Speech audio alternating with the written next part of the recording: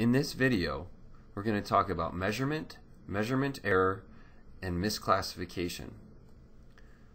Remember, a variable is something that varies across members of a population or a sample. Measurement is how we capture a specific population member's value for a variable. For example, if our variable is weight, we could measure each member of our sample's weight using a scale.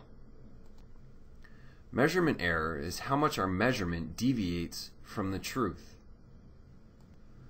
Say we are measuring the weight of five people. In this figure, the line represents the person's actual weight. In this figure, x represents our measurement for each person's weight. As you can see, our scale is not very accurate. The scale said everyone's weight is higher than it actually is. This is measurement error. When measurement error follows a pattern, like the scale consistently overestimating people's weight, we call this systematic measurement error.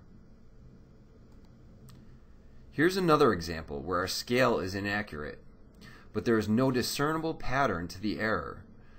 In some cases, the scale's measurement was too high, and in other cases, it was too low. When there's no pattern to the measurement error, we call this random measurement error. Misclassification error pertains to categorical variables. It occurs when we misassign a sample member's category. For example, say we're interested in knowing the percentage of people in a population that have short hair. We call people over the phone and ask them whether they have short hair. Most people tell us accurately that they have short or long hair, but one person decides to try to be funny and tell us they have short hair when they really have long hair.